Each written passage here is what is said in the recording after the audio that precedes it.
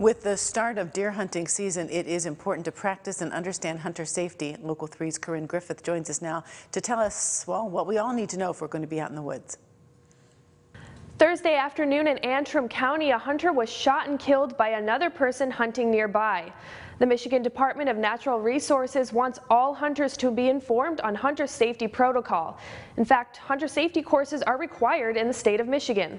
And there's so many different safety things when it comes to firearms that are taught in our hunter safety courses for when you're how to handle a gun, where to keep that muzzle, if you're crossing a fence, if you're crossing a river, you know, handing it to your partner while you cross the fence and then he hands it over the other side. That's why we require hunter safety in the state of Michigan so that we can eliminate and try to minimize any of those accidents that do uh, unfortunately occur. Some basic hunter safety tips include, but are not limited to, be sure of your target before shooting, keep your safety on until you're ready to shoot, wear proper hunting clothing and eye and ear protection, and always be aware of your surroundings.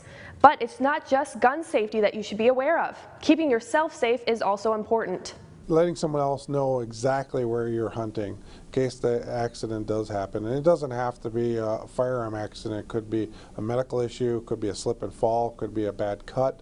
Um, could be anything like that. This also means dressing appropriately for the weather and wearing layers. Bring a map, compass, and flashlight. Have a first aid kit handy, and if you're using a stand, make sure you are safely harnessed in to prevent falls.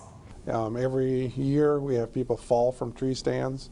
Um, and, and, they do cause injuries and even deaths from just falling from a tree stand. It's important to stay alert and aware of your surroundings for not only your benefit, for those around you as well. Reporting in studio, I'm Corinne Griffith, Local 3 News.